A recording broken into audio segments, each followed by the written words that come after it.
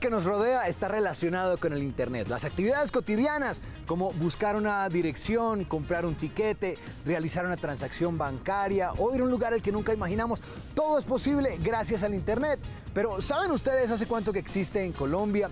¿Cuántos usuarios hay y qué beneficios tiene? Pues eso lo vamos a conocer en nuestro programa el día de hoy, porque vamos a celebrar el Día Mundial del Internet que se conmemora todos los 17 de mayo. Amigos y amigas, ¿qué tal? Yo soy Carlos Marín y a partir de este momento les damos la bienvenida a Vive Digital TV. La invitación, como es habitual, es a que interactúen con nosotros a través del numeral Vive Digital TV o cualquier inquietud o comentario lo hagan a través de la cuenta de Twitter del Ministerio, arroba ministerio-tic. Bienvenidos. Hola amigos de Vive Digital TV, soy Juan Sebastián Rosso. Esta semana celebramos el Día Mundial de Internet y quiero contarles por qué en Colombia amamos Internet. Primero, porque gracias a esta herramienta, en estos ocho años, logramos una gran revolución digital, social y educativa en nuestro país. Pasamos de 2.2 millones de conexiones a Internet en 2010 a 30 millones de conexiones en el 2018. Cruzamos mares, selvas y montañas para conectar al 98% de los municipios del país, incluyendo las regiones más apartadas como por ejemplo el Chocó y la Amazonía. Gracias a esto, llevamos conocimiento y educación a las escuelas públicas del país, las cuales dotamos con más de 2 millones de computadores y tabletas para que los niños se conectaran con las ventajas y las oportunidades que ofrece Internet. Encendimos más de 1.300 zonas Wi-Fi gratis para la gente en las plazas públicas, en los sitios de interés cultural y turísticos para que más colombianos puedan acceder a la sociedad de la información de forma absolutamente gratuita. Finalmente, gracias al uso y a la apropiación de Internet y de la tecnología por parte de los colombianos, hoy el país es más productivo e incluyente y se encuentra preparado para enfrentar los retos de la economía digital. Quiero que ustedes a través de las redes sociales nos cuenten las razones del por qué aman Internet utilizando el hashtag Yo Amo Internet. El Internet llegó a Colombia en la década de los 90, primero a través de línea telefónica y con el paso de los años ahora incluso lo tenemos en nuestro teléfono, algo nunca pensado antes. Por eso en Vive Digital TV les preparamos una cronología de la evolución que ha tenido en el país de la mano del Ministerio TIC. En Colombia, el Internet es relativamente nuevo. En 1991 se logró conectar un canal análogo entre la Universidad de Columbia en Estados Unidos y la Universidad de los Andes en Bogotá. Esta universidad colombiana fue la primera en tener una página web. En 1998, Asobancaria implementó la tecnología para realizar pagos a través de la red. En el 2000, con la entrada en operación del cable submarino Maya 1, Colombia recibió la banda ancha a través de una conexión de fibra óptica. Actualmente tenemos 10 cables submarinos. En el 2008, Colombia entró en la era del Internet móvil con los operadores de telefonía celular. Al 2018, el 70% de los colombianos ya cuenta con un perfil en la red social. Para el año 2010, tan solo 287 municipios del país estaban conectados a Internet. Para este 2018, la cifra ya alcanza a los 1.108 municipios, 1.075 con fibra óptica y 33 con red alta velocidad. En el 2014, Colombia tenía 16,8 millones de conexiones a banda ancha. En cuatro años, la cifra se duplicó y ya tenemos 30.3 millones de conexiones. En Colombia, el 60% de las personas tiene acceso a Internet.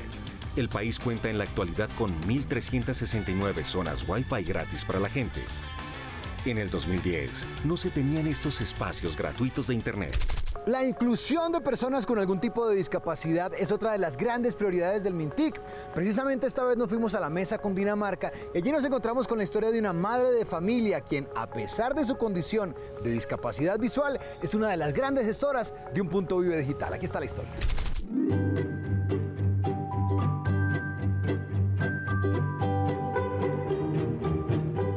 Nombre es Claudia Andrade Quesada, vivo acá en la mesa Cundinamarca. Tengo una discapacidad visual, pero eso no ha sido un impedimento para tener un hijo ni para poder meterme a internet. En los tiempos libres me gusta ir al punto digital porque me gusta investigar, me gusta la tecnología, me gusta investigar cosas sobre perfumes, aprovechar ya que el gobierno nacional nos trae esa oportunidad para nosotros poder navegar.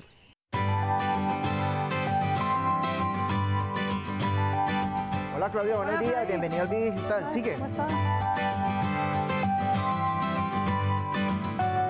Y cuando entro a internet me gusta a mí meterme a YouTube, a escuchar música, me gusta meterme a, Google, a investigar, me gusta también meterme al Facebook, a hablar con personas, también meterme por WhatsApp, a hablar con los amigos, eh, compartir videos, pasar un rato chévere.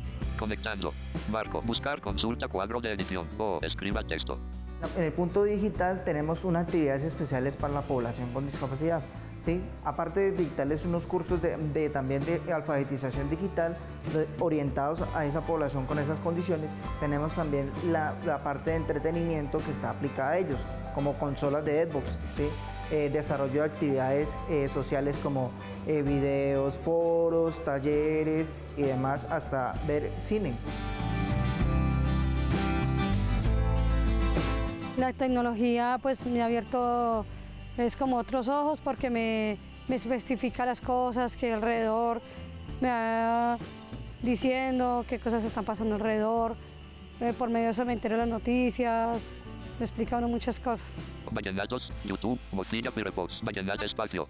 Para las personas con discapacidad visual, el punto digital cuenta con un software llamado JAWS que permite interactuar entre el computador por, un, por, por medio de audio con la persona que está ahí. Le permite operar el computador, realizar todo lo que nosotros hacemos, tanto por teclado como por el mouse, y poder ingresar a las respectivas páginas o programas que tenga el computador. Y me parece muy bueno porque muchas veces uno no tiene plata para al internet investigar las tareas del niño, entonces es un medio muy bueno que el gobierno nacional eh, piense en las personas pobres porque es una oportunidad para podernos investigar las tareas y la información que nosotros necesitamos. Para las personas con discapacidad, el beneficio parte de, la motivación. El hecho de asistir a un punto digital y tener una alternativa de, de- de enseñanza, como son las tecnologías, les permite a ellos motivarse y subir su autoestima. que utilicen la tecnología, que es una oportunidad muy buena y que la aprovechen al máximo, que la van a pasar muy bien. Pueden escuchar hasta música, pueden hasta parrandear. En este mes el Ministerio TIC sigue celebrando el Día de la Madre y qué mejor forma de hacerlo que reconociendo su trabajo. Es el caso de Ana Cecilia Castro, una madre cabeza de familia, quien gracias al apoyo de un kiosco Vive Digital sigue sacando adelante a sus hijas.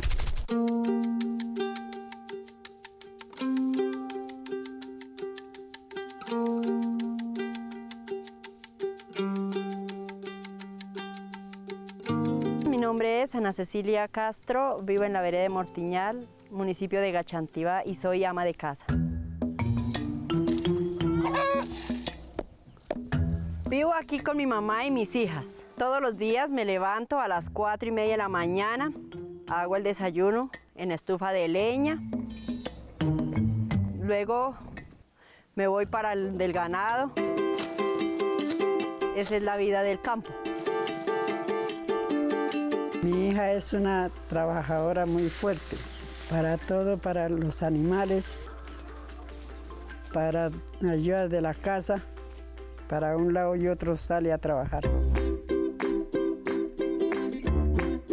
En el cultivo sembramos maíz, papa, frijol, alberja y mora. Antes sembraba con abono químico.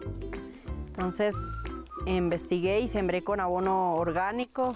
Como se me estaba presentando el problema de los cultivos que no me estaban dando producción de nada, entonces me enteré de los kioscos Vivi Digital y fui a investigar allá, me dieron asesoría para encontrar los nuevos abonos que se podían conseguir para la huerta y investigué lo del abono de los abonos orgánicos. La señora Ana Cecilia se acercó al kiosco, lo primero que hizo fue aprender sobre las partes del computador y cómo navegar. De ahí eh, aprendió a in- ingresar a YouTube y aprender cómo hacer abonos orgánicos para implementarlos a sus cultivos. El kiosco digital nos ayuda pues más a mi mamá porque ahí encontró cómo se elabora un, un abono, pues ahí ella ha hecho sus huertas, sus, sus cultivos como de papa, maíz, y pues a mí también me ha, me ha ayudado por, por, por, los trabajos, los que me, me han dejado en el estudio. Este es uno de los casos que es demostrar de que cuando hay interconectividad, de que cuando tenemos las herramientas tecnológicas y digitales, podemos también transformar no solo la sociedad, sino las familias. Gracias al Ministerio TIC hemos podido tener estos kioscos digital en las veredas para poder tener más información de todas las cosas que se necesitan para nuestra veredas, para, nuestros, para nuestra comunidad. Es una forma fácil de conectarnos al mundo, cosa que no podemos hacer de, sino desde nuestro entorno a través de la internet. Aquí en Gachantea ha sido muy, muy bueno por la economía de que trae el, el punto digital y segundo por, por el servicio que se le presta a los niños y a la comunidad. Como madre cabeza de familia pienso que la tecnología es muy importante y es una herramienta para nuestra comunidad del municipio. Estuvimos en Ibagué y salimos a las calles a preguntarle a las madres qué importancia tiene la tecnología en sus vidas y cuánto les ha servido para la crianza de sus hijos. Esto fue lo que nos respondieron.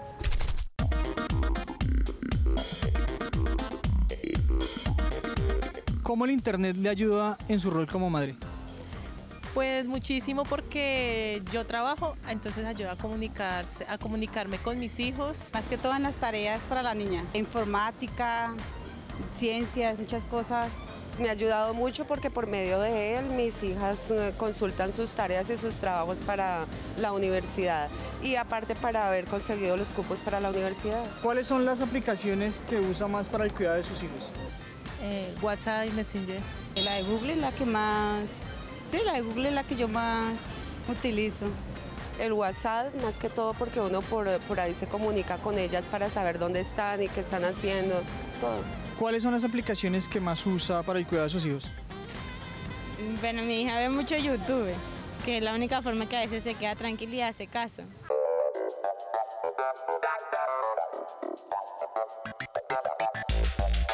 ¿Qué importancia tiene el Internet en la vida de los padres? Pues muchísima porque pues aparte de que nos ayuda a comunicar, también nos ayuda a informarnos y actualizarnos en muchos aspectos como padres. Pues para mí mucho porque me ayuda a estar informada de, cosas que de pronto no sé, entonces investigo ahí, entonces eh, aprendo.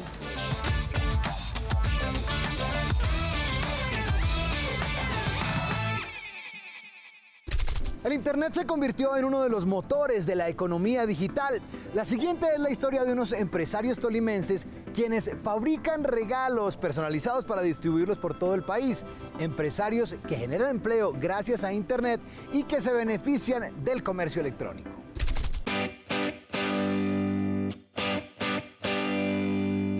Ellas y ellos es una tienda de regalos con un alto componente de diseño, creatividad y emoción en cada uno de los productos. Cada uno de estos es diseñado, fabricado y comercializado con la idea de subirle el ánimo a las personas. Nuestra misión finalmente es llenar de sonrisas a todos los que reciben nuestros productos y, es, ofrecerles la mejor experiencia de compra. Ellas y ellos nace aproximadamente hace tres años, cuando nosotros éramos recién egresados de la universidad y teníamos una empresa de marketing digital.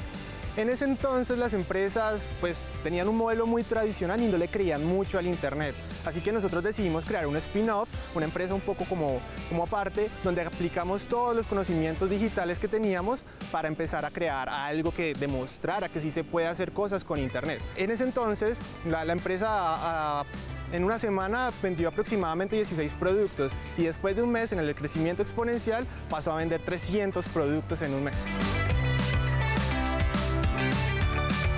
Y ellos enfocamos nuestro modelo de negocio en digital. Inicialmente los clientes nos visitan a través de redes sociales en nuestra página web, ahí ven los productos, se enamoran de ellos y nos escriben por WhatsApp o finalmente realizan la compra por la página. Posteriormente pasan a un proceso de diseño y producción directamente en nuestras oficinas, donde el equipo de diseñadores, de producción, de embalaje, diseña y produce cada uno de los productos que son enviados a todo el país.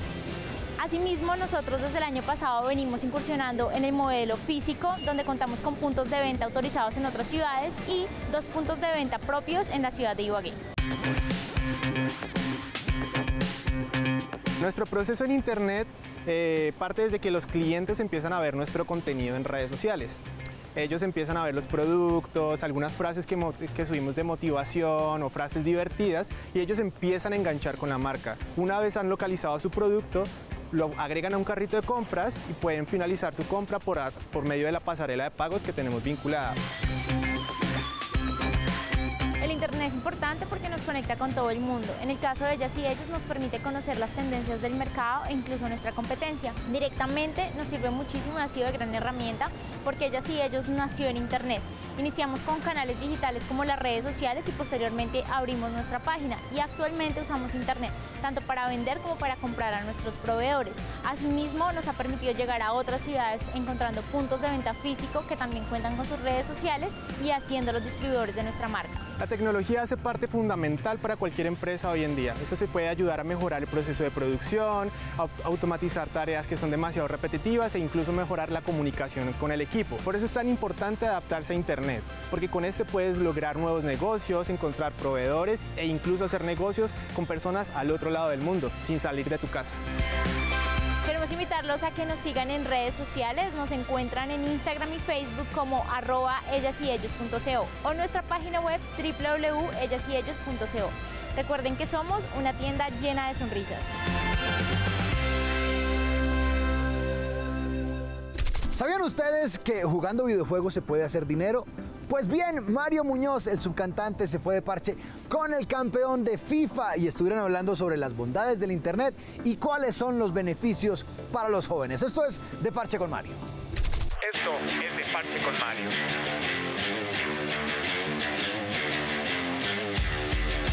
Hoy me vine para el norte de la ciudad de Bogotá a conocer a un loco que se llama Javier Muñoz que es el campeón, el mero mero, el duro, el que atiende a cualquiera en FIFA, jugando videojuegos. Este man nos va a contar cómo la tecnología y los videojuegos se pueden convertir también en una carrera, en una opción de vida.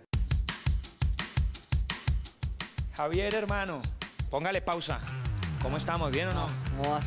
¿Qué estás haciendo? Ah, estaba jugando un partido ahí de FIFA. Entrenando porque es que este man eh, como ya les conté, él es el campeón, el duro, el más teso de Colombia para jugar FIFA. ¿Cómo llega uno a eso, hermano? Bueno, esto ha sido algo de toda la vida. Desde pequeño jugué como cualquier niño y con los años eh, empecé a, ir a torneos como desde el 2009. Llevo nueve años jugando como profesional y hoy en día ya es mi, es mi forma de vida y es mi profesión. Tremendo. O sea que uno puede vivir de jugar videojuegos. Sí, sí, hoy en día se puede y esto está creciendo muchísimo. Vea, para la gente, para los papás además que dicen, oiga, deje de estar ahí jugando. ¿Qué tal el chino le salga como con profesión jugador de videojuegos? Imagínese.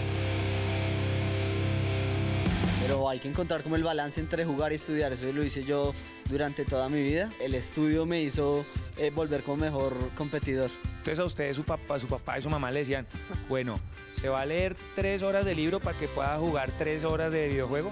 No era tan así, pero me iba bien en el colegio, entonces era más fácil. Vea que el Ministerio de las Telecomunicaciones del MINTIC eh, tiene unos lugares que se llaman los Vive Labs y ahí tenemos computadores y tenemos incluso videojuegos para que la gente se acerque a este tipo de tecnologías que le pueden servir a la gente. ¿Cómo usted cree que la gente debe aprovechar estos espacios? Porque es que usted es un ejemplo, hermano, de que esto realmente puede ser toda una opción de vida. La tecnología hoy en día es súper importante en nuestras vidas y en una profesión como la mía es, clave, ¿no? Chévere que todo el mundo se, se acerque a estos videolabs y aprovechen su tiempo en, en practicar videojuegos o otro tipo de, de, tecnologías. Vamos a ver cómo me va jugando aquí con el gran campeón Javier Muñoz. Él es un ejemplo de que la tecnología, los videojuegos, la conexión, la buena conexión, el buen uso de las redes se puede convertir en una gran opción de vida. Así que usted deje de estar ahí perdiendo el tiempo, conéctese, empiece a usar las aplicaciones, los videojuegos y el Internet para cosas positivas.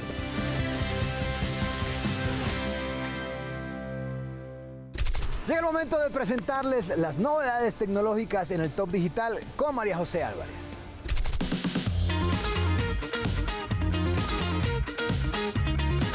Propósito del Día Mundial del Internet, hoy les traigo en nuestro Top Digital estos avances tecnológicos que nos han transformado la vida gracias al Internet. Bienvenidos. Número 1. Auto que se maneja solo. Este carro sin nadie al volante es capaz de detenerse en un semáforo, parar para que crucen los peatones y también conducir en medio de un tráfico pesado. Esto puede lograrlo gracias a una tecnología que combina radar y láser con un dispositivo que tiene en su techo. Así podrá registrar todo lo que tiene a su alrededor. También cuenta con una cámara frontal que le permite observar todo lo que tiene delante de él. Esta información es condensada a través de unas computadoras internas que maneja y que le permiten conducir como si tuviera cualquier conductor responsable. Número 2. Casas inteligentes. Hoy, gracias al Internet, también contamos con estos hogares digitales que tienen las siguientes características. Con tan solo oprimir un botón usted puede ingresar a la casa con contraseñas y huellas, controlar la apertura de la puerta principal, las cortinas en las habitaciones, apagar y encender equipos, la iluminación y el sistema de audio. Además, estos hogares digitales también cuentan con sensores de movimiento. Número 3. Radio híbrida. Esta nueva modalidad combina las ventajas de la radio tradicional con las posibilidades de recibir información adicional e interactuar con lo que ofrece Internet. Este sistema permite que los oyentes puedan recibir información adicional asociada a los contenidos del programa, como por ejemplo los presentadores de cada espacio y su nombre. Así me despido con los avances tecnológicos que nos han transformado la vida gracias al Internet. Cuéntenme qué les pareció interactuando en las redes sociales con el hashtag Vive Digital TV y también pueden hacerlo conmigo en mis redes sociales como arroba María José Álvarez B. Nos vemos en el próximo capítulo. En la actualidad no toda la información que consumimos a través de las redes sociales es real, al contrario, a cada segundo estamos expuestos a noticias falsas, mejor conocidas como fake news. Aquí está Felipe Castiblanco y las noticias falsas de esta semana. Con la llegada al mercado de las OTT o servicios over the top, que no son otra cosa que la transmisión vía streaming de audio o video sin la intervención de los operadores tradicionales, la forma de ver televisión y de escuchar música en el mundo cambió completamente. De hecho, los que en su momento fueron gigantescos emporios, como Blockbuster o aquí en Colombia Betatonio, ahora fueron reemplazados por grandes plataformas como Netflix, HBO, Amazon Prime o Hulu. Y es que ¿quién no ha quedado en la tentación de quedarse echado en la cama todo un sábado viendo series? Sin embargo, hay una cadena de WhatsApp. Sí, otra vez WhatsApp. Que asegura que Netflix está entregando 12 meses de suscripción completamente gratis si usted llena a través de un link una encuesta con preguntas obvias como ¿ve usted películas online? o compartiría la contraseña de Netflix con sus amigos o familiares. Amigo, esta noticia es falsa.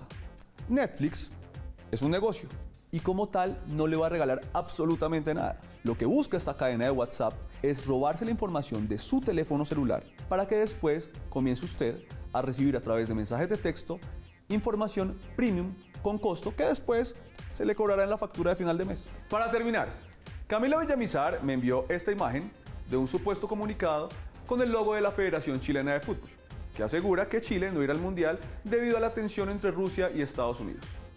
Camila, lamento decirte que esta noticia es falsa porque Chile no irá al Mundial debido a que fue eliminado por Brasil en octubre del año pasado. Soy Felipe Castiblanco y si usted tiene una noticia falsa que denunciar, por cinematográfica que parezca, no duden en escribirme a arroba Pipe Castiblanco en Twitter e Instagram o con la etiqueta Vive Digital TV.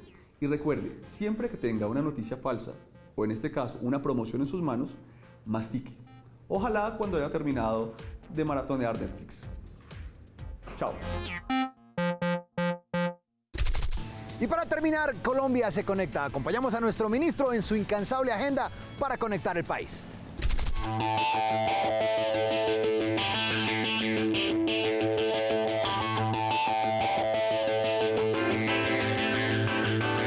Sí me siento muy contento de que por primera vez estemos sectores de, de la economía y de las carteras, eh, el DNP y por supuesto la Comisión de Regulación de Comunicaciones sentados revisando y dándole formalidad a un mecanismo que va a ser fundamental para el desarrollo de la economía nacional para los próximos años.